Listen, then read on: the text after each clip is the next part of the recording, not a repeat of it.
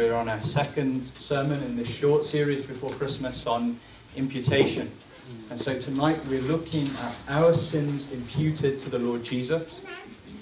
And that really flows from what we looked at last Sunday evening about Adam's sin being imputed to us. So if anything doesn't make sense or you have any questions, please do grab me at the end and, and I'll try and straighten the things out that you might have missed last week. But for now, we're going to read this wonderful passage that talks about the Lord Jesus. And I want to pray before we read it. Heavenly Father, we would pray again as, as Tim prayed for help from your Holy Spirit.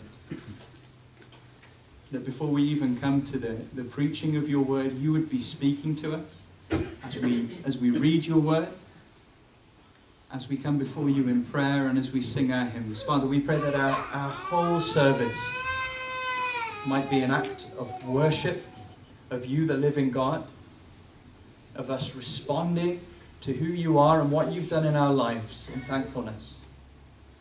But also, Father, we pray for, for blessing and food from heaven. We are weak people and we are lost if we're not fed from your word. So, Father, we pray that you would be with us, that we would know your presence and help in a real, tangible way, and that we would grow from being here this evening, from being watered by the water of life, and from feeding on the bread of life. We pray then for the Lord Jesus. More, more of Jesus. We pray in his name. Amen. Isaiah chapter 53. Who has believed our message? And to whom has the arm of the Lord been revealed? He grew up before him like a tender shoot, and like a root out of dry ground. He had no beauty or majesty to attract us to him, nothing in his appearance that we should desire him. He was despised and rejected by men a man of sorrows and familiar with suffering, like one from whom men hide their faces. He was despised, and we esteemed him not. Surely he took up our infirmities and carried our sorrows. Yet we considered him stricken by God, smitten by him, and afflicted. But he was pierced for our transgressions, he was crushed for our iniquities. The punishment that brought us peace was upon him and by his wounds we are healed. We all, like sheep, have gone astray. Each of us has turned to his own way, and the Lord has laid on him the iniquity of us all. He was oppressed and afflicted, yet he did not open his mouth. He was led like a lamb to the slaughter. And as a sheep before her shearers is silent, so he did not open his mouth by oppression and judgment he was taken away. And who can speak of his descendants? For he was cut off from the land of the living. For the transgression of my people he was stricken. He was assigned a grave with the wicked and with the rich in his death. Though he had done no violence, nor was any deceit in his mouth, yet it was the Lord's will to crush him and cause him to suffer. And though the Lord makes his life a guilt offering, he will see his offspring and prolong his days. And the will of the Lord will prosper in his hand. After the suffering of his soul, he will see the light of life and be satisfied by this knowledge. My righteous servant will justify many, and he will bear their iniquities. Therefore, I will give him a portion among the great, and he will divide the spoils with the strong, because he poured out his life unto death and was numbered with the transgressors for he bore the sin of many and made intercession for the transgressors. Please open your Bibles and turn with me to 2 Corinthians chapter 5. And verse 21 God made him who had no sin to be sin for us, so that in him we might become the righteousness of God. 2 Corinthians chapter 5, verse 21. Let's pray.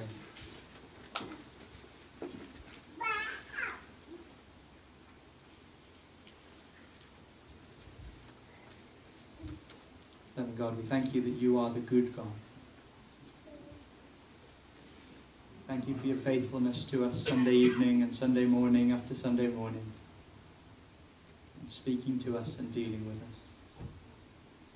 Father, we need your help tonight as we deal with ideas that are so far out of, so far beyond our understanding, far too deep for us to grasp.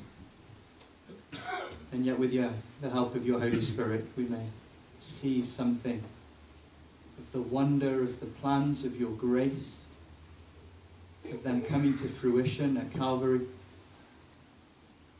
and what that means for us today.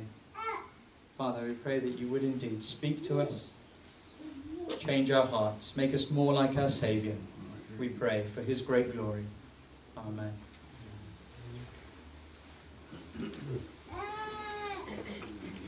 Last week we began our series on imputation. The word imputation means to credit a characteristic to a person. Just turn me down a little bit, Sam. Get rid of the old fuzzy. There we go. So imputation means to credit a characteristic to a person, to put them in a certain category. And we said that this is crucial because we're talking about the way that God views and deals with us. Last week we dealt with the difficult topic of Adam's sin imputed to all men and women. That when Adam jumped into sin, we jumped with him. And so God has put us with Adam in the category sinners. Now, we might complain, we might say it's not fair, but we have no argument to make because we prove that God is right in the way that He's judged us by the things that we do. We sin all the time. Sometimes I sin big, sometimes I sin small. But every day I have proven that God is absolutely right to put me in the category sinner. My actions witness against me. They prove that I have something wrong at the very core of who I am. I'm not a good person who gets things wrong, but I have a sinful nature. Now, this is bad news for us because God has said that anybody who is in the category of sinner is deserving of death and hell. And perhaps you think that seems harsh. But imagine a river that's poisoned at its source. What's it good for? It can't do anything that a river should do. It can't support life. It can't give life. It can't water crops. You can't go to it and quench your thirst. If it was polluted at some point, you could clean it or just go upstream and find clear water. But if the pollution is at the source, if it is ruined at its source, then it is useless from the spring all the way to the sea. We are like that river. We are rotten at our core. And so the consequences, well, we see those in our actions. Our rotten actions flow from a rotten heart. Our sins flow from a poisoned source. So we are entirely ruined, just like that river that is good for nothing. It must be abandoned. So God looks at us, and his judgment is death. That is what we saw last week in Adam. All die. All sinners deserve death. And everyone who is in Adam, that is all of us, is a sinner. And so there has never been a person on earth who has not deserved death and hell. Except for one. Because the Lord Jesus was never in Adam. He didn't have a sinful nature. who's pure and righteous and holy. But he died. And so we have a question, don't we?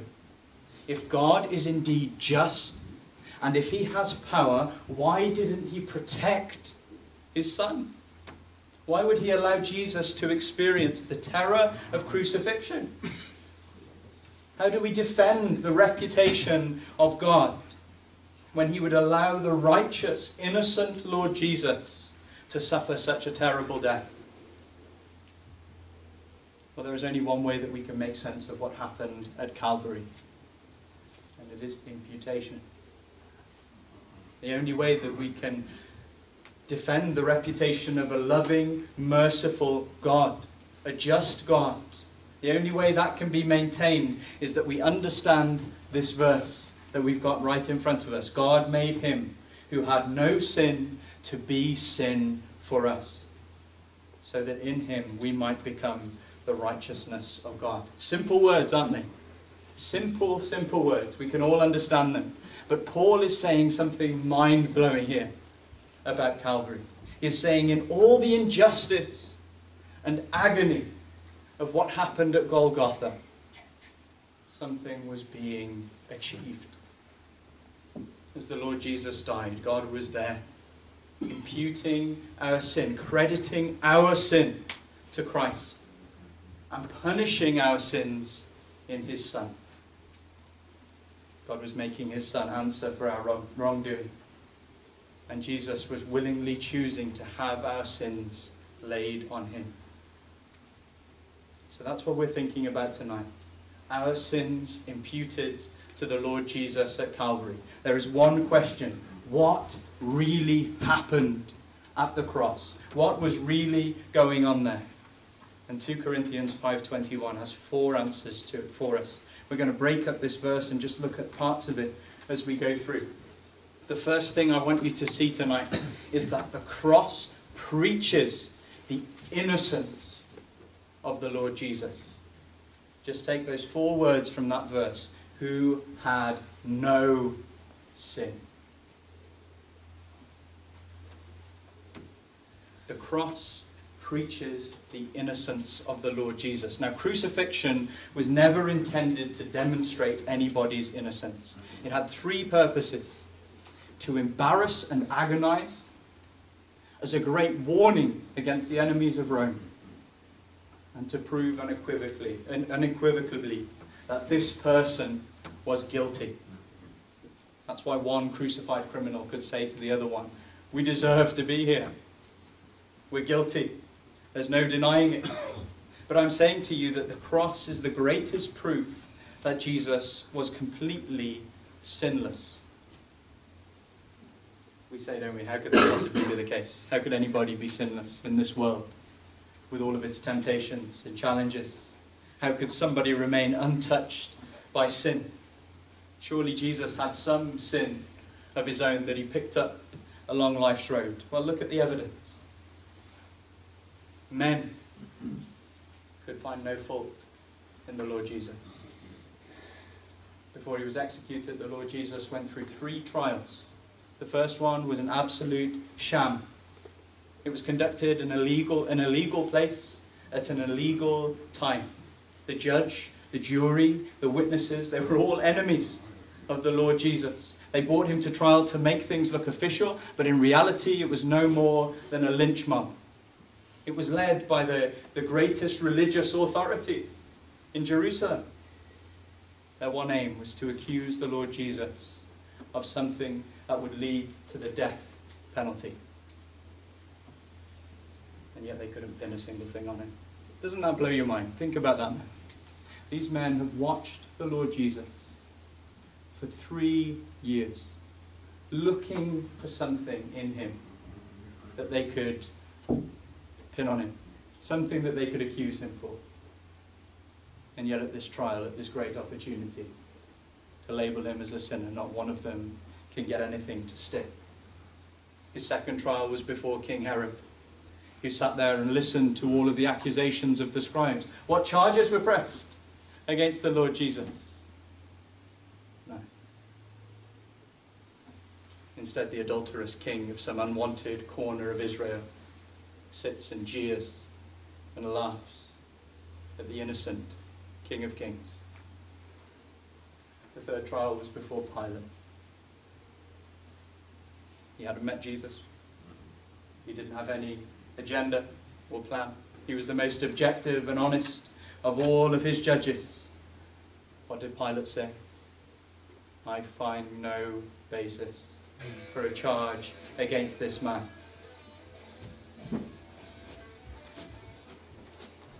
And so you see then, at the testimony of men, even men that wanted to convict the Lord Jesus, was that this man is innocent. From the marbled halls of the Roman governor to the filth of Golgotha, where a criminal could say, Don't you see? This man has done nothing wrong. Innocent. Men couldn't find fault with the Lord Jesus. God could not find fault with the Lord Jesus. There's a story about a prank that was played by Sir Arthur Conan Doyle, you know, the author of the Sherlock mm. Holmes stories. He wrote an anonymous letter to several members of Parliament, and it simply had these words We are discovered, flee. The next morning, several members of Parliament had left the country.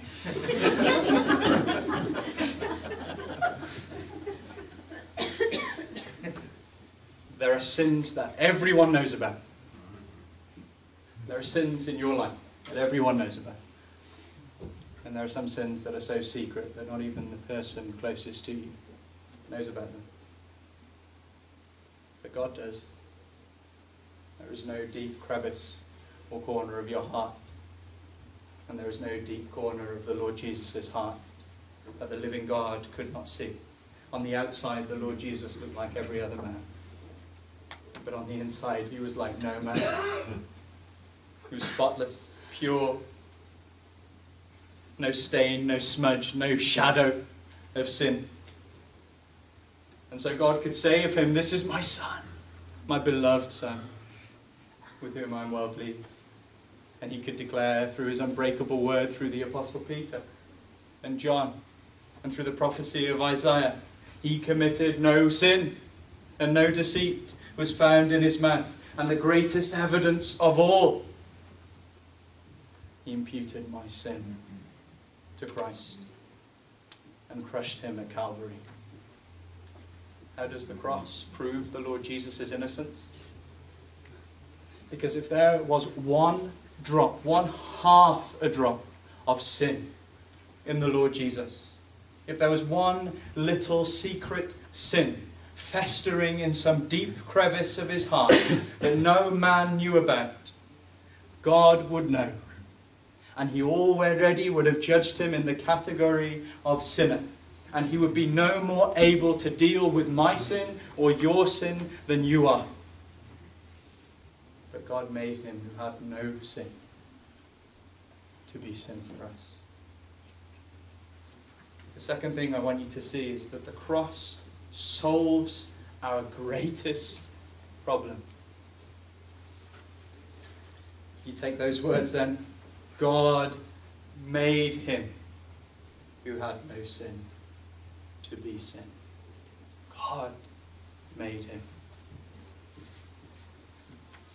You see, our biggest problem is not how can we be reconciled to God, but how can God be reconciled to us? God is light, and in him is no darkness at all. Our God is a consuming fire. Every day he is angry at sinners. And so if you and I shudder at what we hear on the news, how does a holy God react? He doesn't smile and shrug at domestic abuse or at sex trafficking or at terrorism. He doesn't laugh at movie stars taking advantage of little girls or the extermination of entire people groups because they're not the right race. All of these horrors of sin move heaven to holy anger. And as terrifying as that is, we wouldn't have it any other way, would we? Amen. Could we worship a God who was not moved by these things? who carelessly could clear the guilty and say, Come on, come on, you Christ hating, unrepentant sinners, come into my heaven and love your sin for all eternity. No. God is a God of justice. What we sow, we reap. We sin, and we pay the wages for sin. And so this is our great problem. We may not have committed those great sins that make the headlines, but we have sinful natures. And we still break God's law every day. Now, can God be reconciled to you? When you have lived the way that you've lived? There's not a single one of us who wouldn't be terrified to have a video of us at our worst and lowest and most embarrassing moments played before us. Yet God's seen. God knows. How could a living, how could a holy, just God be reconciled to sinners like that? It's impossible, surely. Well, no. It's made entirely possible at Calvary. The cross is God's great solution to our greatest problem. It announces that our sins have been laid on the Lord Jesus, and God has punished him in my place. God was enacting his justice and his judgment, not on me, but on Christ. And so, this is the greatest and the most important fact that you could ever hear in your life that 2,000 years ago, on a rubbish dump in the Middle East, God the Father poured out his wrath and fury and judgment at your sin and my sin on the Son that he had loved for all eternity. He turned his back on that Son. He didn't do it because he had to. God was not obligated to punish Jesus. He was obligated to punish sin, but not his Son. He was motivated by pure love for sinners. Grace and love, like mighty rivers, poured incessant from above as the wrath of God burned furiously against his Son. At the same time, his love flowed rampantly to us and opened the way to reconciliation. The third thing that you must see tonight is that the cross insists on total forgiveness. God made him who had no sin to be sin for us. Many people misunderstand how completely God dealt with our sin in the Lord Jesus. They ask questions like, How do I know that all of my sins were taken care of. I'm a big sinner. How do I know there's enough grace there to cover me? Or if I believe in the Lord Jesus and then I sin, how do I know I'll be forgiven for those sins? Our verse answers all of those questions.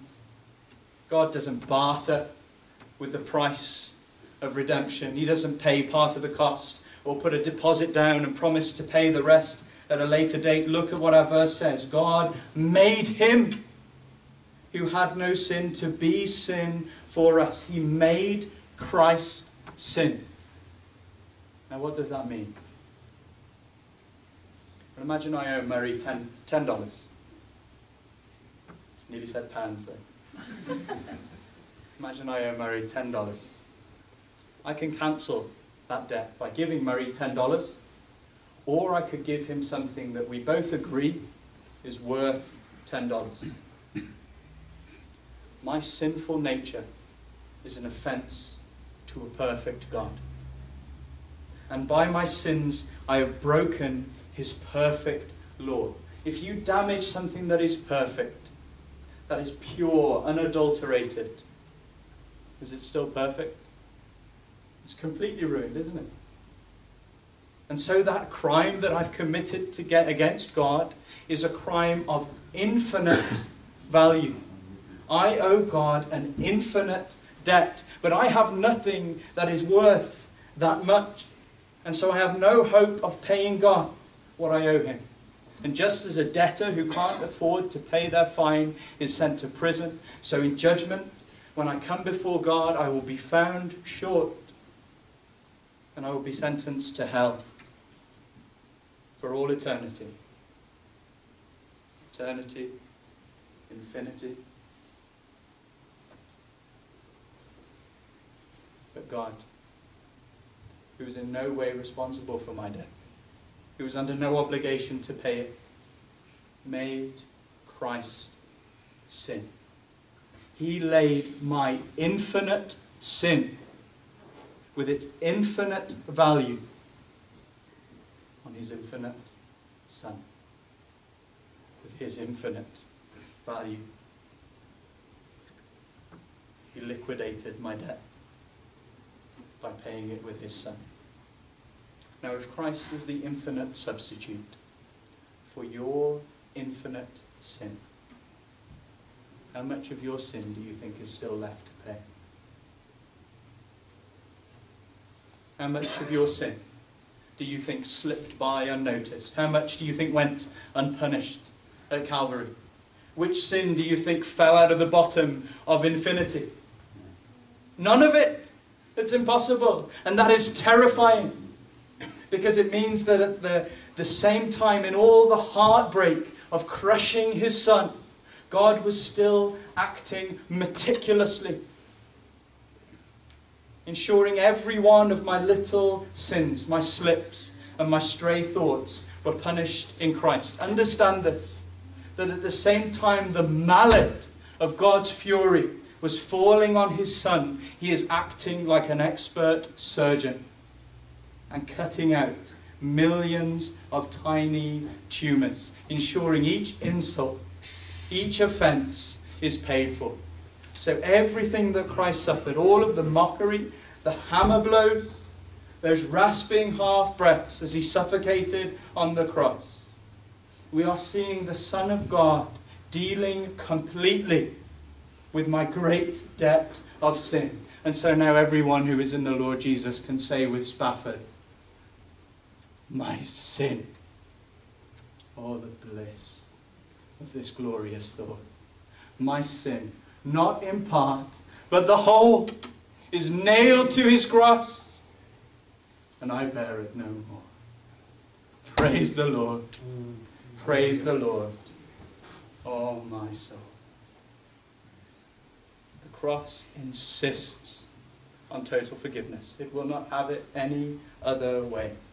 If the Lord Jesus is infinite God, and you believe that he was made sin for you, you have nothing less than complete, utter, total forgiveness. The snow that shimmers on the top of Mount Cook looks like mud compared to your soul in Christ. Fourthly, and very briefly, the cross changes our status before God. Next time we're here, we'll think about the imputation of Christ's righteousness to us.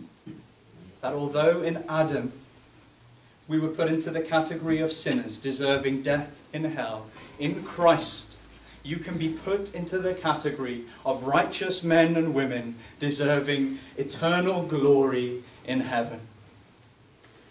For now, I just want you to see that Calvary is what makes that possible.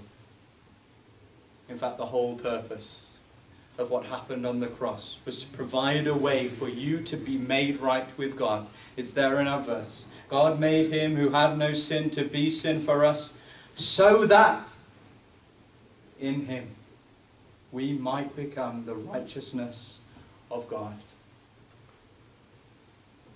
So the next time we must still have the cross in mind. It will be wonderful to think of what we have been made, what we've become in the Lord Jesus but we must never forget what it cost him. Now, as we close, I just want to apply this in three ways. First of all, if you're not a Christian and you're here this evening, Paul has four words that you need to hear, and they come just before this verse. Be reconciled to God. Be reconciled to God. there is an opportunity for you this evening, even after years of living in ignorance and opposition to the Lord Jesus, to be made right with God. We sing a hymn that has these words guilty, vile, and helpless we. Spotless Lamb of God was he. Full atonement, full rightness at one with God. Can it be? Hallelujah. What a Savior. And we say, Hallelujah, what a Savior, because it is true. Full atonement has been made. But it terrifies me that full atonement has been made, and yet some of you are still headed for hell.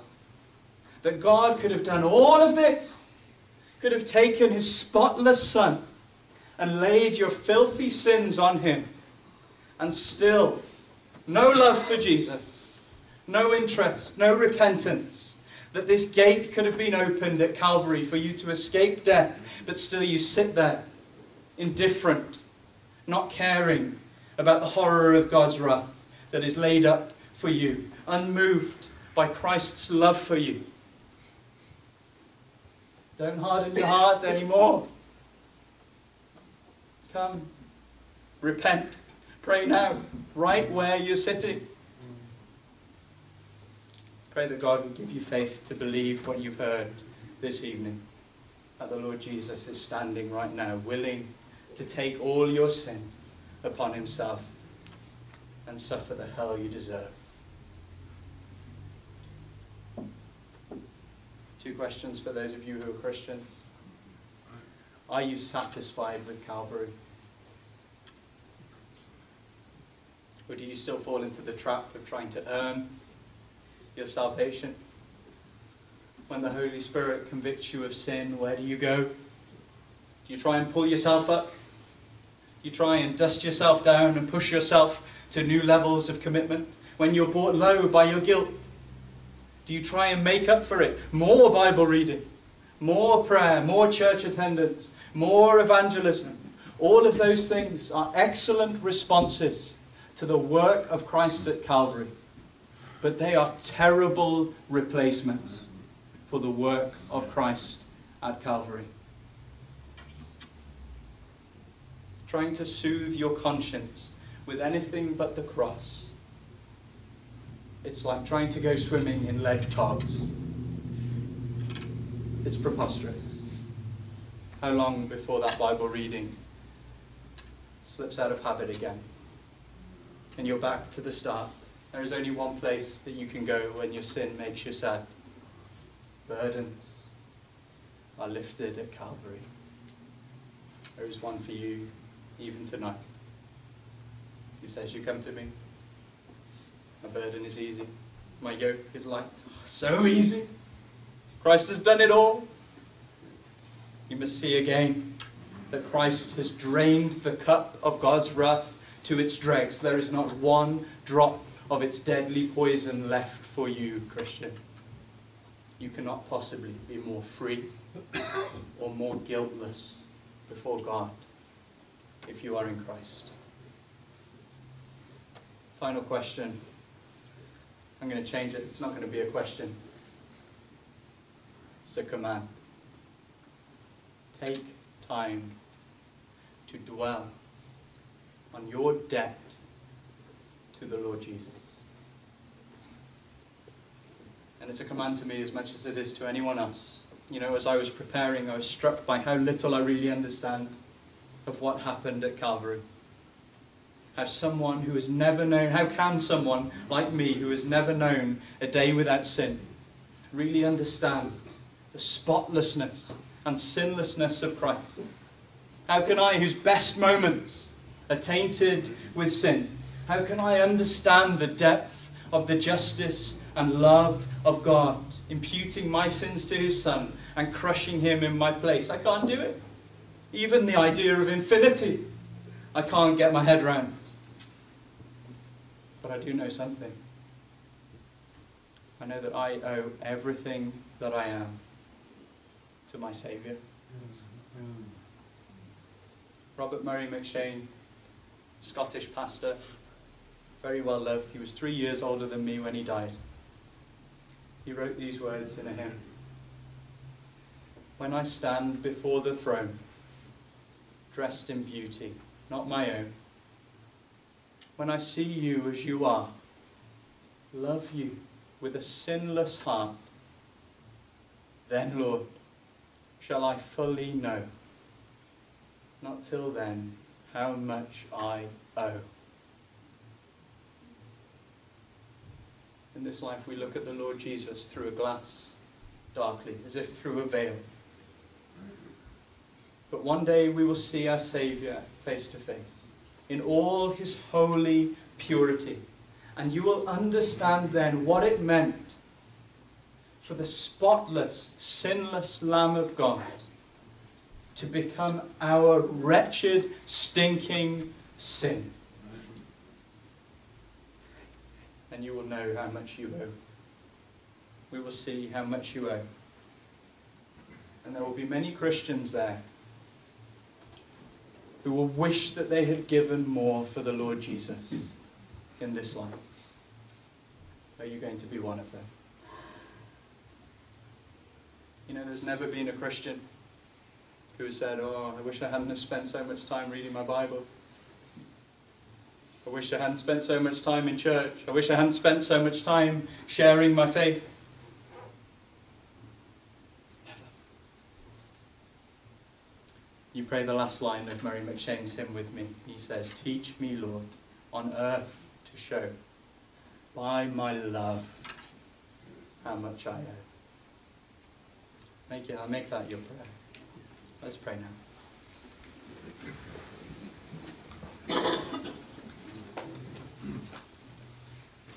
Father, these things are too lofty for us.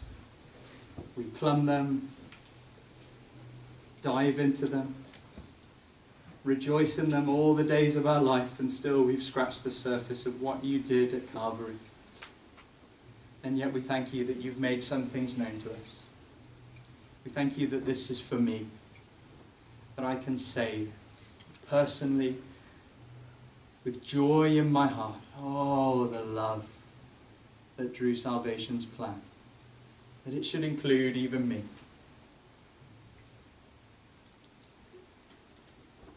That I can say I owe everything to my Saviour.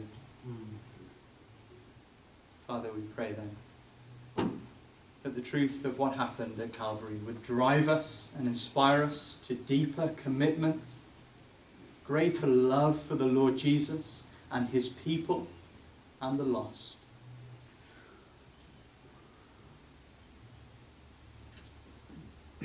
Father, we pray that you would use children like us to your great glory, even in Wyndham.